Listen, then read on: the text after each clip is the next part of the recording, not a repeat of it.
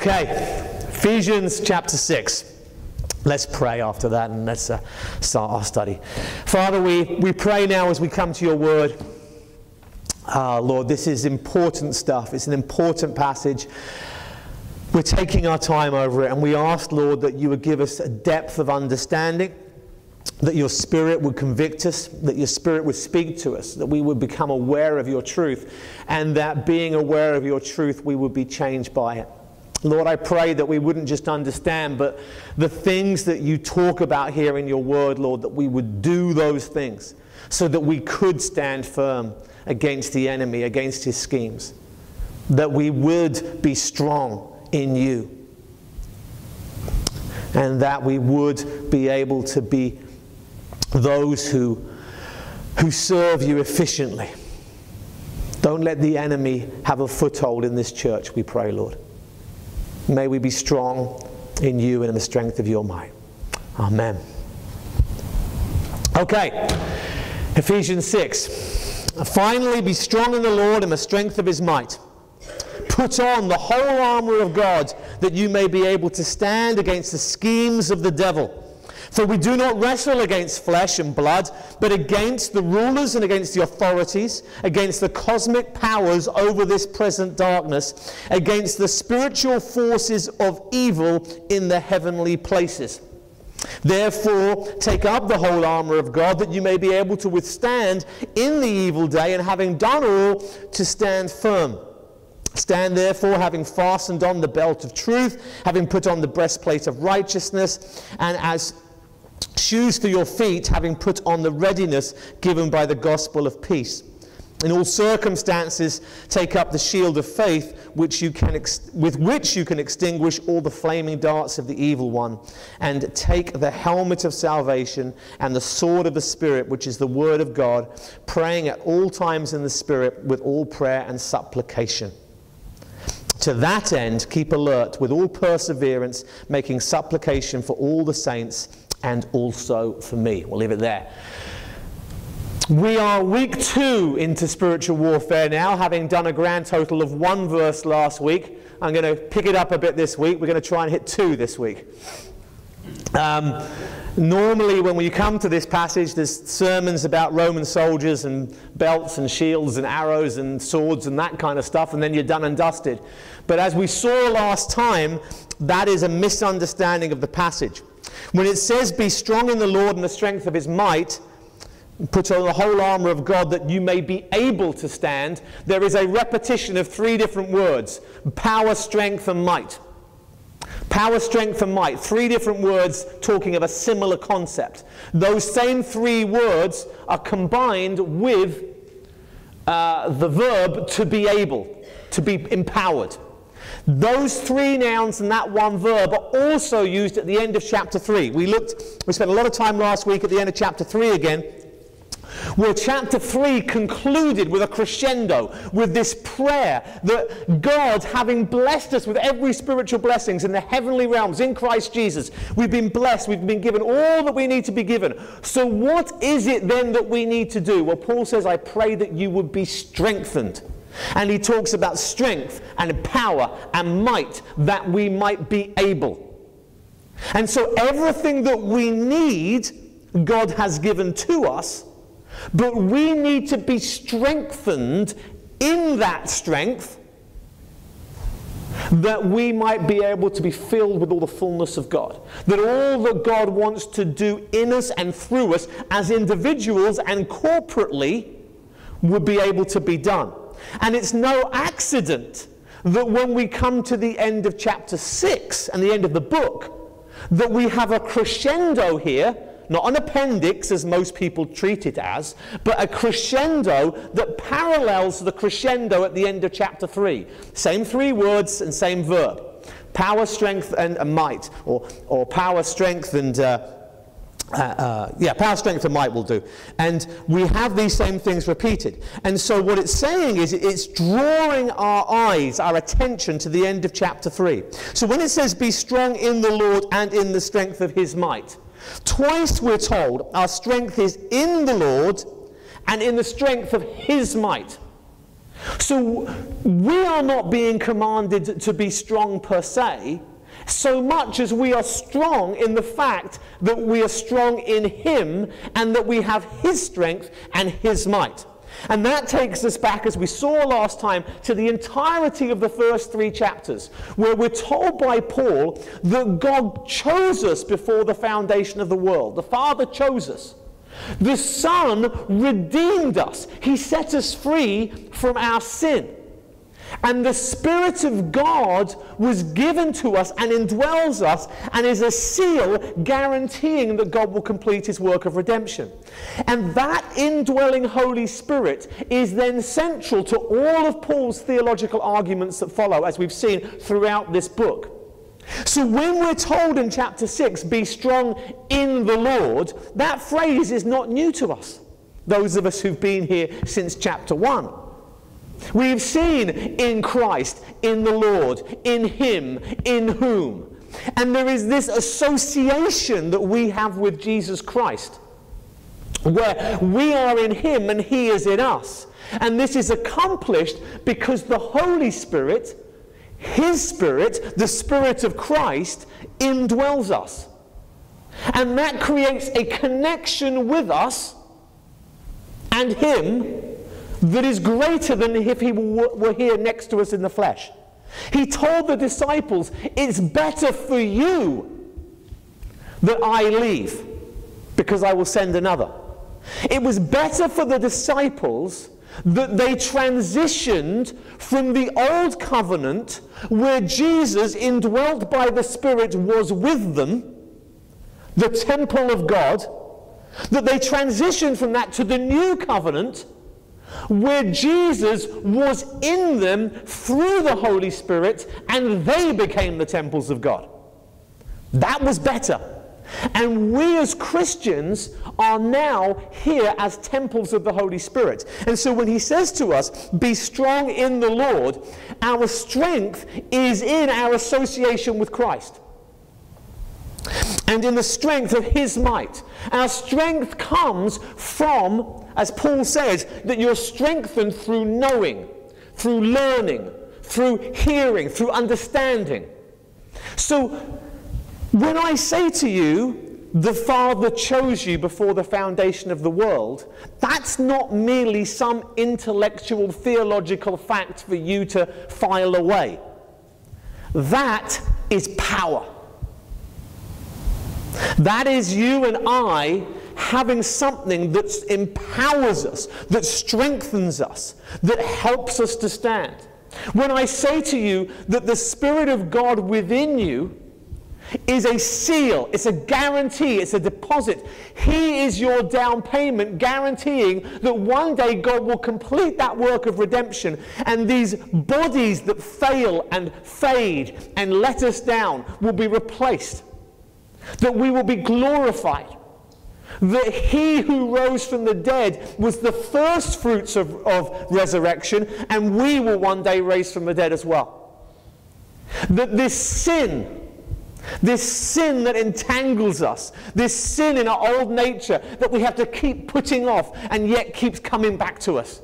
This sin that we struggle with and we fight with, that one day that battle will be over and we can be before Him face to face. This is our power. Because the enemy is constantly trying to get us to look at circumstances, to look at our sin, to look at our frailty. And our strength is not in us, our strength is not in our failings. Our strength is not in our sin. Our strength is not in the uncertainties and vagaries of life before us. Our strength is in the Lord. And it is the strength of His might. And we're going to talk more about that next time. I was hoping this week we would come and talk about the armor of God, but we're going to do that next time. Keep postponing it. And when we do come to the armor of God, we're going to spend a whole bunch of time in Isaiah. And we're going to see that all this imagery that is used is nothing new. It's, it was used before. And the imagery, as I told you last time, was used of God because He is the warrior. We're not the warrior, He's the warrior. And we are warriors by default, or perhaps and maybe we'll talk about this next time, we corporately are a warrior by default because we are indwelt by the one who is the warrior. It is his might, it is his strength, and not ours. And so, because we are going to be strong in his uh, in the Lord and in the might in the strength of his might, because we're going to be strong and it's his strength, we're commanded to put on the whole armor of God. Now, we're going to talk about that next time. Don't want to get ahead of myself. But we're going to put it on. And so, in this process, what needs to happen, what, what we need, has been given to us. This has been the theme right the way through the book of Ephesians. We've received every spiritual blessing. We do not come to God and say, God, I need you to do this so that I can do this. There's no more blessings we need. He's given it all to us.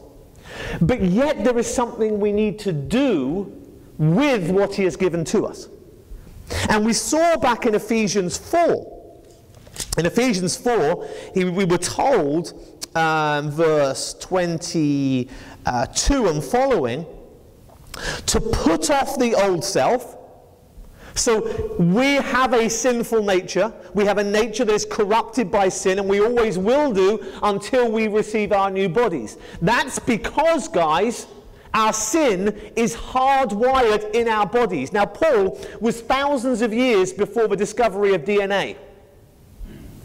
But he did have a good understanding of it, did he not? in that he understood that sin was hardwired into our body. For Paul, where is sin? Where is sin? Sin is in the flesh, sin is in the body. How does the spirit work? The spirit's realm is the mind. We become changed through renewing our minds, through learning, through understanding. But the, the, the, the sin, sin works in the flesh, in the body. So it's worth noting that whatever our DNA is does have a huge effect on us. It makes us prone to all sorts of sins. That doesn't mean that those sins are justifiable. We need to be free from our flesh and free from our sin. And the way we do it, verse 22 of chapter 4, is we put off the old self because that's our former manner. And then we're renewed in our minds. So we take off the old put off the old, we're renewed in our minds, and we put on the new self created after the likeness of God in true righteousness and holiness. So there is a putting off the sinful nature, there is a renewing of the mind, and there is a putting on. And that is the same phrase exactly that is used here in Ephesians 6. Just as we have a responsibility to put on the new way of living, putting off the old way, having our mind changed about what is righteous and what is good, and then putting on that lifestyle, so we are to put on the armor of God. That's our responsibility to put it on. And we'll talk about what that is as we come to it next time. But we're going to put on the whole armour of God. If you are a soldier in battle and you put on half your armour and not the other half of your armour, you know exactly where the enemy is going to be shooting for, don't you? So we want to put on the whole armour of God. And that, for the reason that, so that you may be able to stand against the schemes of the devil. So, putting on the armour of God, next week's sermon, is what we're going to do so that we are able to stand. Now, standing, again, this is a crescendo of Ephesians, so we're constantly looking back because we have the context of the whole book. But when we saw in uh, chapter 4 that the result of, uh, uh, of, of us maturing in the faith in chapter 4 and verse 14 is that we would no longer be children tossed to and fro by waves and carried by every wind of doctrine. And that's what was we were looking at there was that when we mature and we grow in knowledge and we grow in understanding and we know our Bibles better, then we don't get blown to and fro. Uh, I am constantly amazed, I shouldn't be, but I'm constantly amazed at how Christians have, who have somehow come to public prominence will utter such nonsense. Just complete drivel coming out of people's mouths in the name of God because they put aside their Bibles. And then what happens is, and you'll see this in the church every generation, society shifts. The, the winds of change blow. Whoosh, and everybody in society believes one way, and then the wind shifts, and whoosh, everybody in society starts to believe a different way. And when you see the church shifting with society, then we've got a problem. Standing firm, not being blown away by winds and waves of doctrines. That's going to be the result. But specifically here, we're going to stand firm. We're going to stand against the schemes of the devil. So the devil is trying to get uh, a scenario to happen. He has an end game, as it were. The stuff that he wants to do. He has schemes, he has plans. And we need to stand against that. We do not want to be part of the enemy's work. Now, if we don't stand against the world, which is the realm of Satan, then we cannot stand against him. If we're going to stand against his schemes, it's going to mean against the world and sometimes against the church.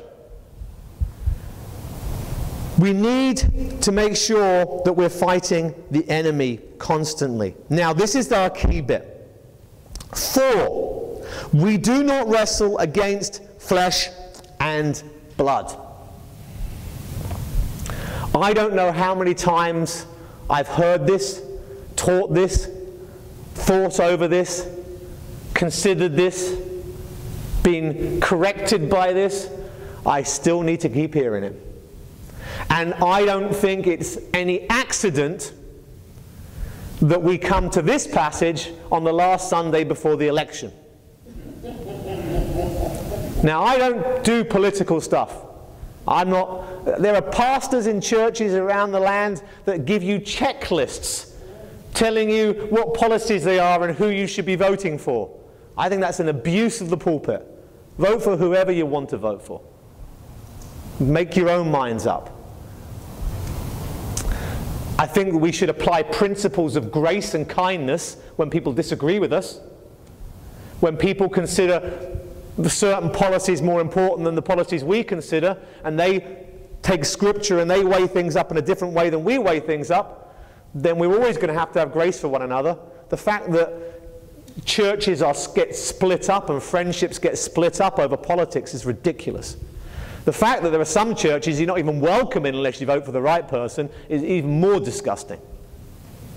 We can differ, differ in all sorts of things and we can love one another in Christ. So let's get that out start with. And that's why I keep away from politics, because I don't want to imply that people have to think the way I think. My goodness, you don't want to think the way I think on everything. When it comes to the Bible, we need to be in agreement. But outside of that, there's lots of room for disagreement. And until we get a, until we get a candidate who re represents the scripture in every area, then there's always room for disagreement. And that's coming. That's coming. He's coming. He's on his way. And he will come and he will rule and he will reign. There won't be a vote. but he will be godly and righteous in all his actions and his decisions and all his judging. And we look forward to that day. And until then, there's room for disagreement. But let me say this to you all neither Hillary Clinton nor Donald Trump is your enemy. Satan is your enemy. Get your heads around that, please. Especially as we have this running to the election. Get your heads around that. These people are not your enemies. Satan is your enemy. You're just trying to figure out which one he's got more control over. That's all. and I think we've seen plenty of evidence to suggest that that he's doing a grand job all round in those regards. That's as deep as I'm going to go on that. I do hate election season. you know, it's, it's spin and it's everyone pushing their own sides. And do you know what I'm all about? I'm about truth, the truth of God's word. And everyone's is gossip and innuendo and this and that. And Satan's our enemy. Let's fight him, okay? And it's not, he's not fought in the polling booth. What you, how you vote is, it, you know, I'm not saying it's unimportant. Okay, I'm not saying it's unimportant. I know to, to many of you it's very important. And, and I get that. But far more important is what happens when Satan comes tempting and how you stand against that. You know, the person who votes for a different candidate than you vote for could be the person that comes alongside you and loves you and sacrifices for you when you really need it because their love is going to stand against the enemy.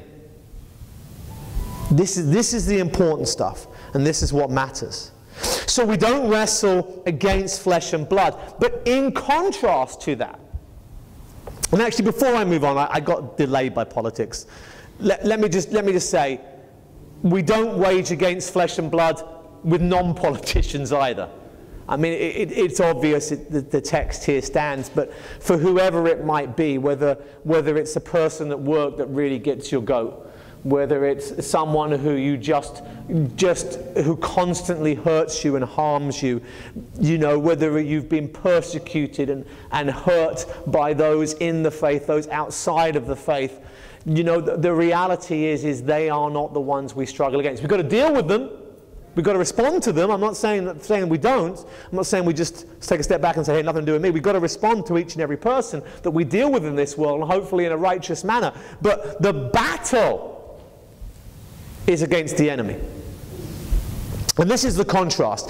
It's not against flesh and blood, but against. Now look at this list. This is interesting. The rulers, the authorities, against the cosmic powers over this present darkness, against the spiritual forces of evil in the heavenly places. Now, this is where I want to get my teeth into stuff. Okay? Firstly, if you come from wildly unbiblical, extreme, pluck it out of thin air, oh, look, there's a rabbit up my sleeve kind of charismatic circles, then you may have heard all sorts of nonsense taught about this.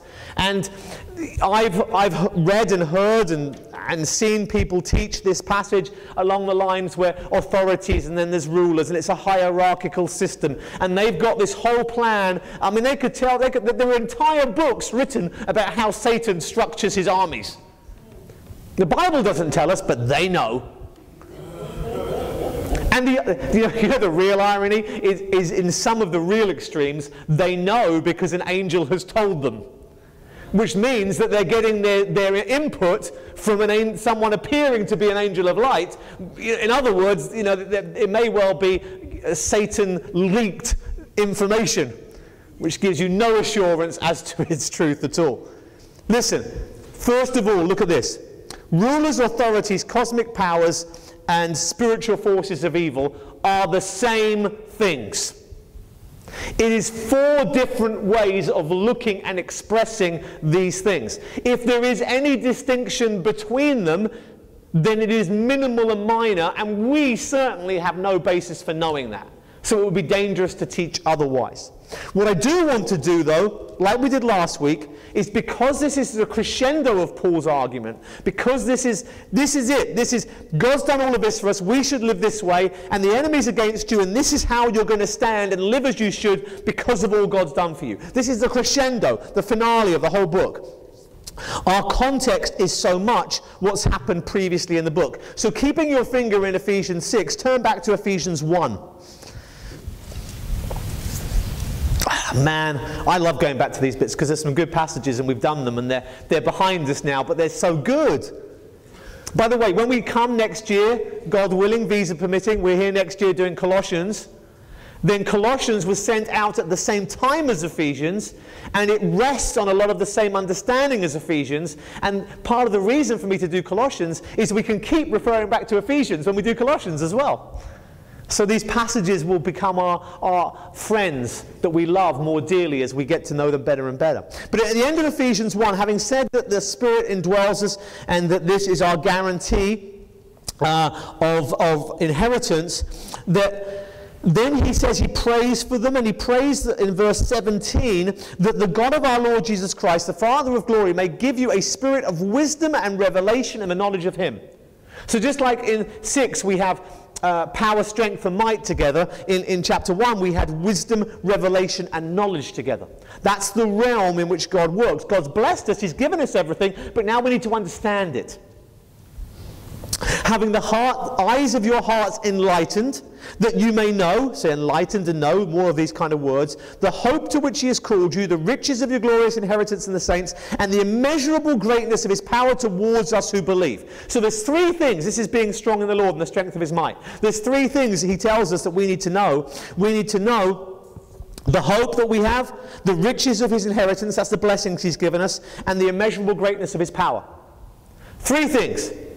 I'm kind of doing a sermon on chapter 1 now, but just in passing because it's too good to overlook. We need to know ever better the hope that we have in the future, where God's taking us, what He's going to do with us. When life sucks right here, right now, there's always the hope of what is to come. When we, we're strangled by our own sin and we're beaten by the sins of others, we look to the time when we will struggle no more.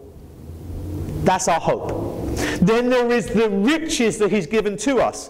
When God seems distant and when life gives the impression that He is not kind, that He is not loving, that He is not gracious, then we look at the riches that He's given, how He chose us before the foundation of the world, how He redeemed us through the blood of His Son that He gave to us. That's what we need to know and understand. And thirdly, the immeasurable greatness of his power. That's the indwelling Holy Spirit. That's us empowered by him. And it's in that context, he says, according to the working of his great might, same word that we have in chapter 6 that we're dealing with, same context, his might, that he worked in Christ, as in him again, when he raised him from the dead and seated him at the right hand in the heavenly places. So the power that raised Jesus Christ from the dead and put him at the right hand of the Father, seats him in the heavenly realms, that same power indwells us. That's the Spirit of God. Man, it's a good passage to come back to, isn't it? But he goes on. He seated him in the heavenly places far above so, where Jesus sits in the spiritual realm, he's left the physical realm.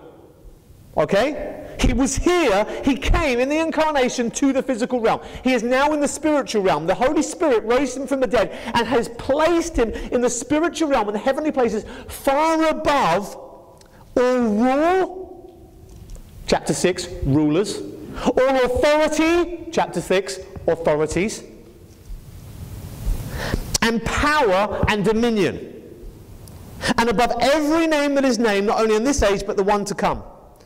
And he put all things under his feet and gave him his head over all things to the church, which is his body, the fullness of him who fills all. In other words, what the end of chapter 1 is saying is that Jesus Christ was elevated to the point that through his resurrection he was given a position that was above every other spiritual being, or rulers, authorities, and powers. Yes, physical rulers on this earth, but more so in the context of Ephesians, all spiritual powers. Because he is the one who raised from the dead. He is the one who conquered death. He is the one who conquered sin. And the point in context is that that same power indwells us. And it's because in verse 22 of chapter 1 that all things are under his feet, that he is the head of all things. If everything else is below him, he is head over everything.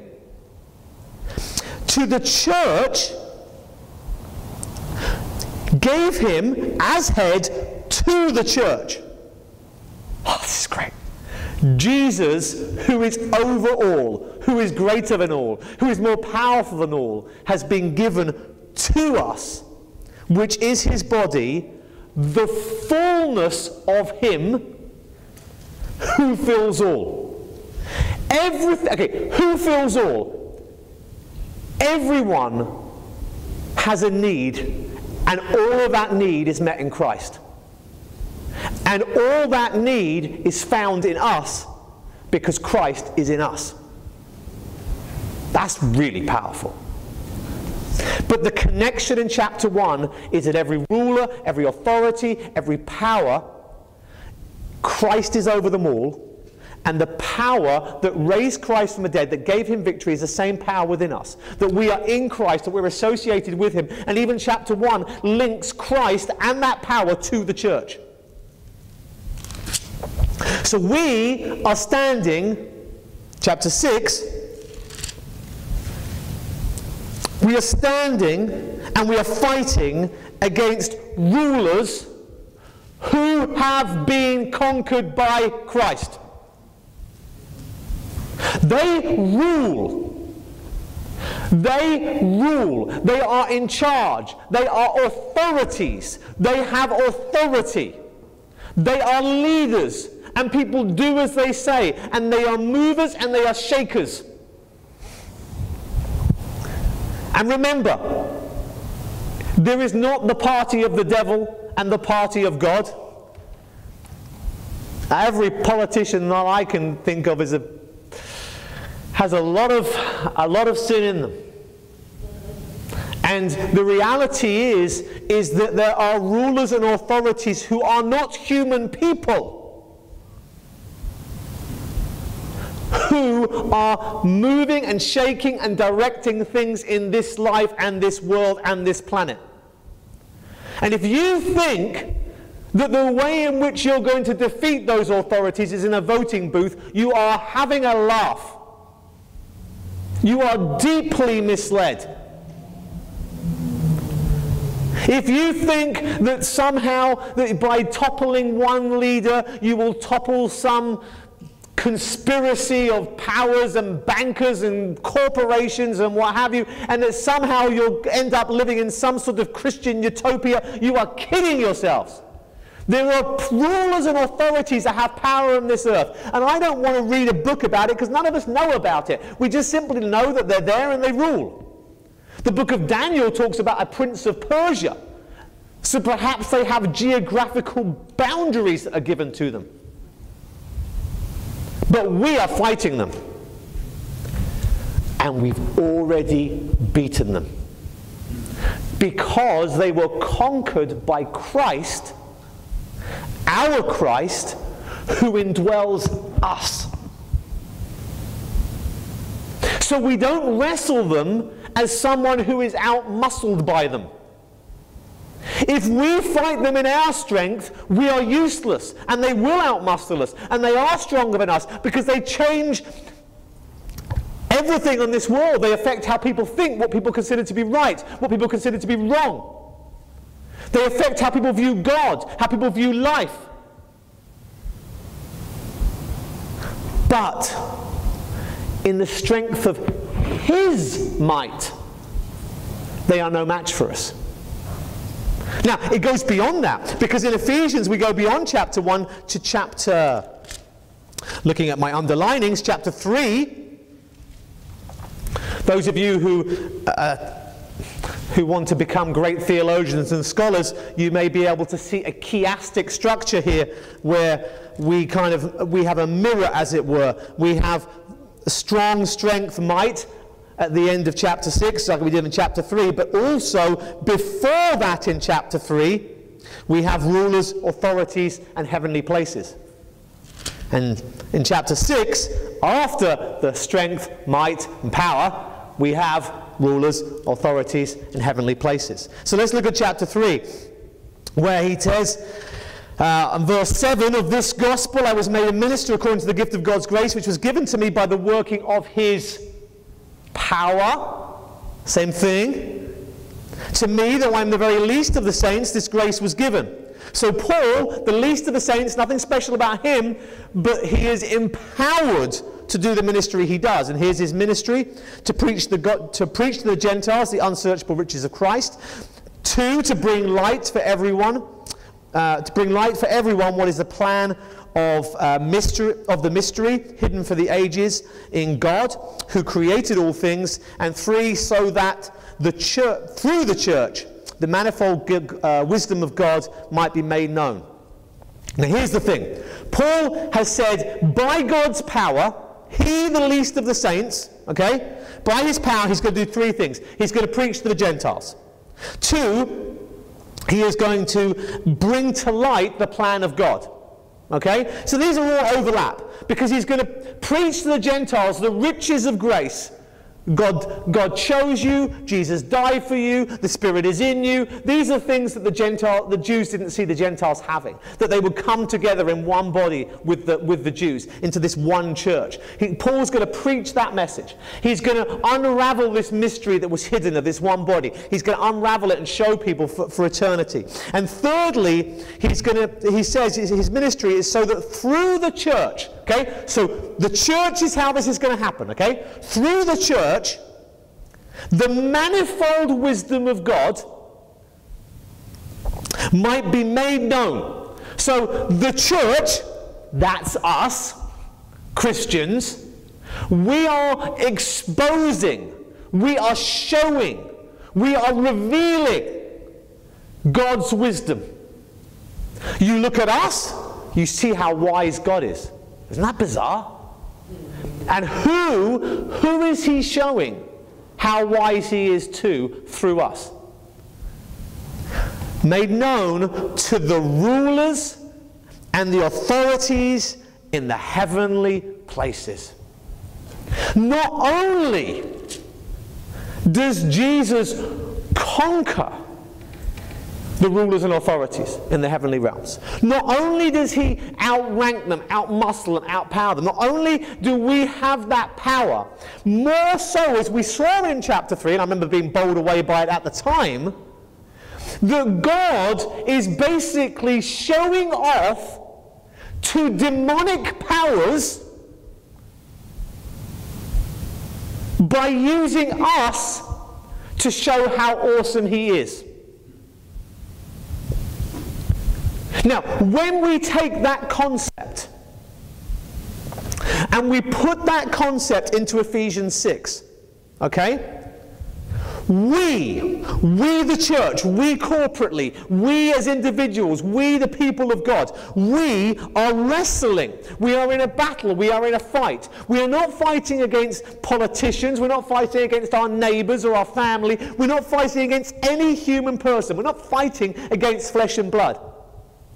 What we're fighting against is rulers, authorities, cosmic powers over this present darkness. You think this land is dark? The land is dark, was dark in that time as well. That this world, at this time, and by this time I don't mean this century, this year, I mean this period of time following Christ, in these end times is a present darkness. And there are rulers and authorities, cosmic powers, spiritual forces of evil. Four different phrases that we tend to use a fifth one to speak of these creatures, which is demons. Now, I'm going to come back to my point because I want to end with that. But this needs to be said in between. There are books out there, as I've said already, that tell you everything about demons. And what you do is you come away being wowed by Satan. Oh, look at all those scary stories of all those things that happened to this person and that person. And then you get Christians who, who, who look for monsters under the bed because that's where demons dwell. And you get Christians who, oh, you, you, you're struggling to give up that sin, let me cast that demon out of you. And, and it's just, you know, we'll deal with that in Mark because we're coming up to exorcisms in Mark for our evening studies. But it's just all rubbish. This is demons. Demons, demonic, demonic power. This is it right here, chapter 6. We wrestle against it. We don't stomp on it. We don't, we don't cast things out of people. We don't look under our beds and, and get scared when the lights are off. We wrestle with them in the spiritual realm. Okay? But this is the realm of demons. This is how demons work. And what we see from Ephesians is, is that these demons have been conquered. I think sometimes Christians are more informed about the demonic realm from horror movies than they are from their Bibles. Yeah? Now, I'm not knocking it because I know there are people who like that kind of thing. They like to be scared and what have you. And I don't mind the, uh, uh, the old ghost story and horror movie. But just remember that when you watch a true life based on real events horror movie, that it's as real, spiritually speaking, as when you go and watch Star Wars. You know? And we just got to remember that this, uh, this demonic realm was presented in Hollywood is a galaxy much further away than the realities or thereof of, or, or otherwise of Star Wars. What I'm trying to say to you is this. If a demonic being physically manifested in front of you, and we could debate for hours on whether that's possible or what have you, and whether that happened in Scripture, you, you do, do you understand who you are in Christ? You, there's, there's, no danger of some demonic being doing something to you. There are Christians who spend their lives thinking they're under a curse for crying out loud. I tell you what you're under. You're under the blessings of God. He's blessed you with every spiritual blessing in every in the heavenly realms in Christ Jesus. He's given you his Holy Spirit who has conquered every ruler, every authority, every power. There's nothing to fear. But we wrestle against them okay, in the spiritual realm. And we're going to see how that wrestling looks. We're going to wrestle by putting on armor, and we're going to wrestle by standing, and we're going to wrestle by taking up. That's what we're going to do, okay? And that's how we deal with the demonic realm.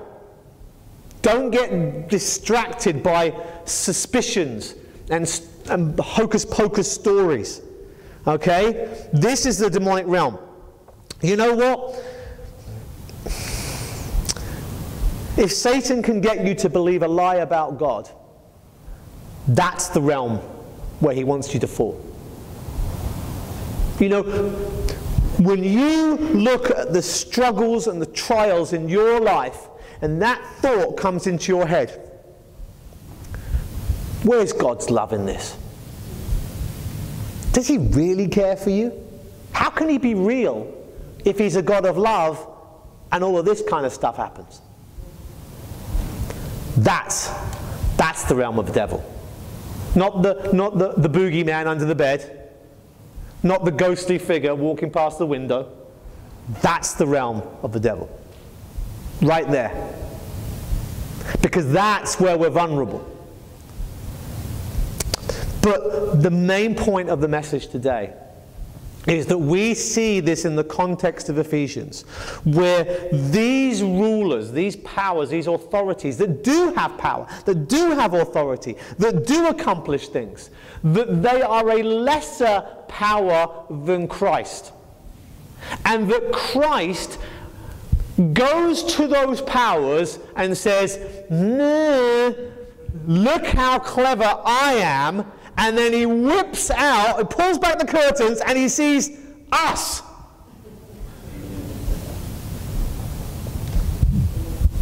Get your heads around that. And that's why when Satan comes, and when I say Satan in the broadest sense, I'm talking about the demonic realm generally. I've got to stop doing that, haven't I? Satan is not omnipresent like God. One place, one time. Probably got no interest in you or I per se. Happy to let his minions deal with it. We're not that important. we sometimes give him too much credit, don't we? But when the enemy, plural concept, when the enemy comes to us, he's coming as someone defeated by the very powers that indwell us. He's coming as, as one who has been crushed. And look, in this room today, I, have I've had American friends come to me, and just recently, in fact, someone was just saying the other day, just about the, the, the racial conflict that still exists often in this country. And there are, there is, there are churches that where if you don't vote for a certain party, you can't fit in there. You know? And, and we have in this room today, although we're, you know, we're growing, but we're still relatively small, we've got people of different ages different backgrounds, different social situations, different races, di- di- you know, different politics. And we're all here united together. And you know what that says? That says, You've been defeated. That's what it says. It says you've been defeated because this group of people come together because they are in Christ. And the very fact that we're here together, listening to the Word of God preached in this world when you can tweet and you can, you can look at this video and that video and watch this channel and that channel, and you've got everything coming. And here you are listening to a book that was written 2,000 years ago being explained to you, says that they've lost. Christ is alive and well through us. And though this, this present darkness may be ever so dark, and though we may get battered by the enemy, though we may get battered in life, and though we get, may get battered by our own sin, just look at yourselves. Jesus has won. And his fullness that is, all that He wants to do in our lives is available to us corporately through the manifold gifts that He's given to each one of us through the same Holy Spirit.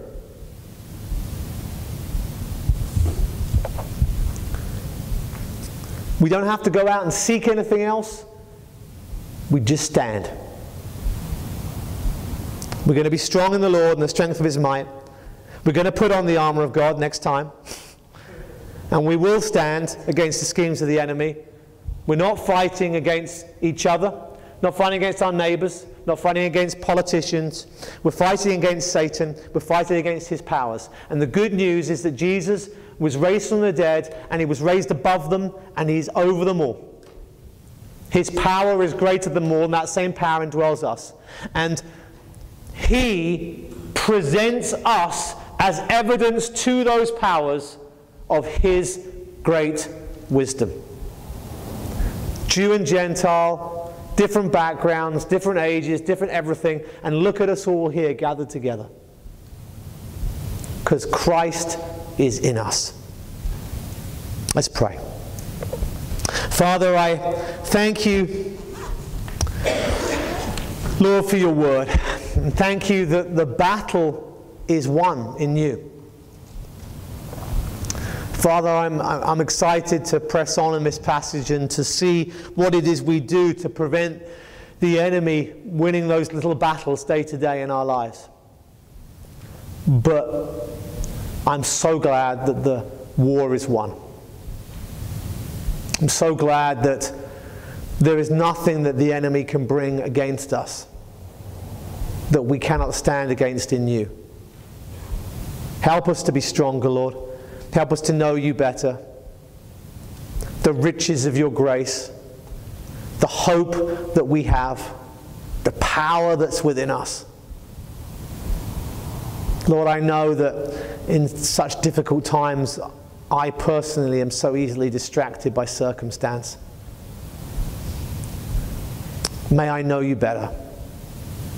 May each of us chew over your attributes. Remember how kind you are, how long suffering you are, the love that you show us, the mercy that you have, your desire to forgive. We thank you for who you are. May you be our focus. May you be our strength. And may we stand against the enemy individually and together as a church. Amen.